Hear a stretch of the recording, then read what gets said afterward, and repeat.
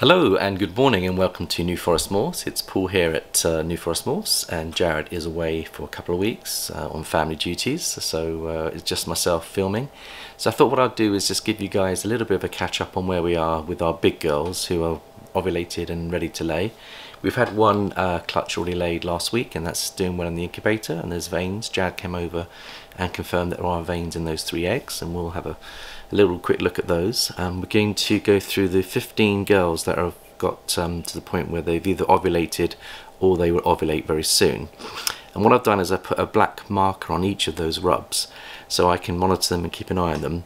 And I think we'll just go through a few today and just look at some of the behaviour that these big girls do toward the latter stages. We're also going to talk about the importance of getting that final lock in um, when they get to 35 mil plus and uh, we've had some success this weekend. We've uh, bred another seven pairs and uh, seven locks out of nine, which I'm very pleased about, and two tail to tail. So they could have been locks there, but we'll uh, just run through some of those. So let's have a look first of all at our big girl Electra, and then we'll go through and have a look and see what behaviour they're they're displaying. Okay, let's give it a go. So Electra is our Super Gravel Girl. And she's been displaying lots of different behaviour. She's been cooling off in the bowl, she's been on the heat spot as well. And you can see she's actually going into a pre-lay shed. So I think this is her pre-lay shed is what she's going through. You can see that her eyes have gone grey and that her body is starting to go opaque. And so what we need to do is possibly give her a little bit more humidity so I'm just going to get some paper and this is what I do to, without disturbing her. I just get a roll of paper, maybe take a couple of um, couple of sheets, soak it in her water bowl because the water bowl will have 80 degree temperature. I don't want to shock her and we'll just go in there and we will just help her shed out put a bit of extra moisture at the back there. She has been going into a water bowl so she knows her pre-lay shed is coming and then we top up her water uh, with the jug. So what I find has been helping the snakes is rather than spray them down, I take out the um, warmer water from their bowls and then what I do is I add extra humidity on the heat spot and everything's shedding so much better and everything is feeling a lot happier because they're getting higher humidity. So I think it's going to be at least probably two or three weeks. It'll be about three weeks before we get a clutch from Electra. So let's move on to the next girl, which is Zag. And I think she might be moving into her pre-lay shed as well. She's had um, her follicle sizes were 36 a month ago, so she's probably close to 45 now. And she's had one, two, three locks. She's the Axanthic, not Axanthic, she is a, um, let's have a little well, you can see she's in shed, I won't disturb her. And what we've done is I've actually put extra humidity in there. But you can see that the Bamboo Girl, which we're hoping is 100% het for Axanthic, and also she is 100% het for Ultramel. And we're hoping to produce some Bamboo Ultramels with possibly Axanthic in them as well. We might get a visual Axanthic if she proves out. She's 50% het Axanthic. And we're not sure which Axanthic she's in. She's she, it was one that was thrown last year to us and we had a bit of a surprise. So she's um, doing really well. We won't disturb her. So she's going into a pre-lay shed. Mo, now she's had one, two, three, four lots and she is currently at 36 millimeters last month so she's probably up in 40s and she's basically on the heat spot there just keeping the eggs warm and she might have a few more weeks to go yet. I don't think she's given us her pre-lay shed yet, so she's she's up there, but I think it's going to be four or five weeks before we see anything there. And down here we've got a beautiful vanilla het clown girl Suzuki. Now she is, um, let's have a look at her. I think she's not very far off now. And we're trying to produce some multi-combo clowns with her with vanilla in there. And you can see that she's um, been off food for quite a while. She has been bowl wrapping. She has been soaking. So I don't think it'd be long a few weeks before she gives us a clutch. So that's an exciting project. We want to get vanilla into our clowns because the vanilla is an excellent gene. It's very subtle, but once you apply vanilla with Enchi, pastel, and other uh, combos, it brightens everything up and does some amazing things with the patterns as well. Now this one here is Isa. Isa is our Desert Ghost Enchi girl, visual. She's had one, two, three locks with Hercules, our multi-combo boy, clown. She was at 42 millimeters on the 21st of January and now she's kind of just nesting a little bit there so again we'll probably expect her to either give us a clutch in the next couple of weeks so we'll keep an eye on her and then the other one we've got here is Calissa now Calissa is a clown girl she's an Enchi clown girl and she's showing 35 millimeter follicles last month. I think she's preparing for her prelay shed. She loves the bowl soak, but she's just going into a bit of a shed now. So I think that this girl here will give us our prelay shed in the next week or so. So her eggs are probably three weeks away, so we should have a lot going on in March and April. Right, moving on to Venus.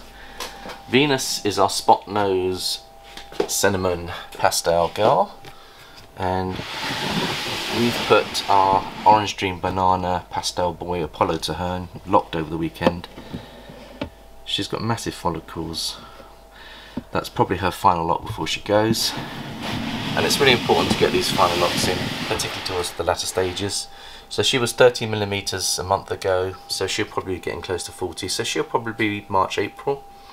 Starburst was 36 millimeters. She's our Ultramel Mojave girl, self-produced, and she is looking pretty good, really comfortable, and think she'll have to give us a prelay shed first before she gives us our eggs.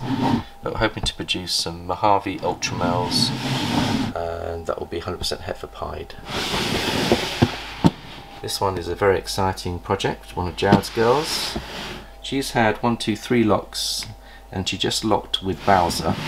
She's a pastel clown girl that's 100% het for pied. Had her four years. Just see how big she is under there. Let's see how big she is. So she's just taken a final lock from Bowser this weekend. So we're hoping to produce some visual pieds, 100% het for Clown and for Lavender Albino. It's the Holy Grail project. So again, we think that's going to be probably about six weeks away. And then we've also got some other girls that are preparing. So over here we've got Karamak. Karamak is our self-produced Ultramel girl. And again, we've put Randy to her and Colt, who are either double visual Ultramel Pieds or Pieds 100% het for Ultramel. She's currently at 30, uh, 35 mil. So again, anything over 30 we're keeping an eye on, seeing how she's doing. She's on the hot spot, so she locked with Randy, so that's probably our final lock. And then at the bottom here we've got Mayu. I think she might be the next girl to give us a clutch of eggs because she is close to 38 mil follicles. She has given us a prelay shed already. And she is looking quite bulky there. You can see the bulkiness in her body. And I don't think it'll be long before some eggs come. So could be any day now. So we'll keep an eye on her see what happens with her clutch. And again Bowser went to her so we're going to try and produce some visual pieds that are 100% het for lavender albino plus also pastel and cinnamon in there as well. And then going over to the big girls on the bigger rubs, we've got some very, very exciting things to look forward to. So we've got Mango, who is our pastel, and she is a pastel clown that is um, absolutely gorgeous. She's had one, two, three, four locks with Skip, who's a gravel 100% het clown boy. She's at 41 millimeters last month, and you can see where she is. She's on the hot spot, keeping those eggs warm. She has given us an ovulation, and I believe she's given us recently a prelay shed as well. So in a couple of weeks we could get some eggs from her. And she is beautiful. Lovely, lovely mother. Proven breeder from last year. Gave us the gravel clown boys, which are doing particularly well, and I'll show you those towards the end. Just her back, so that's exciting. Tess is our multi-combo Batman project. She is a spot-nosed girl that is 100% het for clown. Had her for about four years as well, first time mum. She has ovulated and we're just waiting for her pre-lay shed. In fact she is going into a shed now so I think what I'll do is just give her a little bit of water at the back help her shed out nicely. There we go girl. That will just give you a little bit of assistance and make it easier for you to shed. And then we'll just put her hide back on there. We do like to use hides the other advantage of using a hide is that the clutch is laid flat normally, which makes it easier to go into the incubation box. Um, so sometimes we just leave the hides in there and they like to have the privacy of their hides to lay their eggs, extra protection for them. Now Bubbles is visual clown, she's an Enchi clown and this is her first time ovulation. She has ovulated, she has given us a pre-lay shed as well so again, any moment now, we could see some eggs. Now, here's interesting, she's got her tail towards the center, so that could be of interest to us, that she might be getting ready to lay soon. And what I've done here is I've been very careful not to make it too wet in there, because I don't want wet eggs. I don't mind humid eggs, but not wet eggs. So when they get close to laying, I just take off my gas on the uh, water side and not put too much water in there because I don't want to damage the eggs and then they'll get 100% humidity as soon as they are in the in the box, the incubation box. So there are our girls that we're getting excited about. There are an army of other girls that are going to give us clutches in a month or two's time. So we've got more coming through. So we're really getting excited. This is a lovely part of the hobby. Um, we've been breeding since September and we're now in February and it's just exciting to see the uh, fruit of our labours coming through and we're getting excited about that. You'll notice over here I haven't mentioned is I do have um, another 10 adult size racks that have been delivered by Ridgeway and they're over there to do. Jab would normally help me but I'm on my own at the moment for a couple of weeks while he's on family duties um, but we'll get those set up and then what that will do is we'll move on the grow-ons into the um, uh, larger racks which we need and it will free up space on the hatchling racks because we do need some extra space on the hatchling racks. So everything works to our benefit. We just got to make sure that everything is moving up at the right time. So what I wanted to do is just show you how these little boys are doing. Finn who's our gravel boy just shed out the other day and you can see he's putting on some lovely size. I would say that he's about 400 grams and he's feeding on medium-sized Maltese and he's coming up for nine months old. So we're hoping that he'll be ready to breed for next year. And you can see how pretty he is. Beautiful gravel head stamp and then you've got those lovely patterns on his body as well which are really lovely too. So he's doing really well. His brother Monty which we're hoping is also a multi-combo gravel clown is doing particularly well. He's 500 grams. He was always a good feeder from day one He's a super pastel, um, lesser, we think possible gravel clown. He might have all the genes in him. So we've been looking forward to breeding him, very powerful animal. And over here is Pickle, and Pickle's doing really well. And this one's definitely gravel. You can just see that he's about 450 grams. And he's got super pastel in him and lesser and he's 100% het for clown so he didn't prove to be visual clown but he's got everything other than two copies of the clown to give that visual expression. Lovely beautiful head stamp you can see there. Got a nice white head stamp which is indicative of the pastel and he's got those crazy wavy patterns on his body which we love very much. And again he'll be up for breeding in about a year's time. So they're all doing really well and then I'll just show you how beautiful our other clown boy is doing here. This is the Ultramel. Well it's a clown 100% hair Ultramel you'll see how beautiful he's coming along. And he's close to 400 grams 450 and just look how bright bright he is. See the influence of the Ultramel shining through the clown there? Absolutely stunning.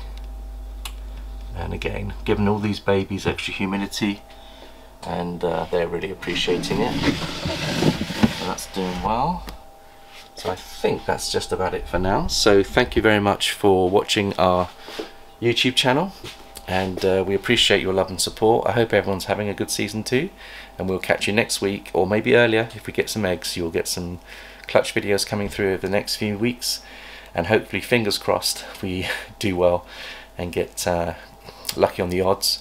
I wish everyone the best and uh, we shall see you next time. Bye bye for now.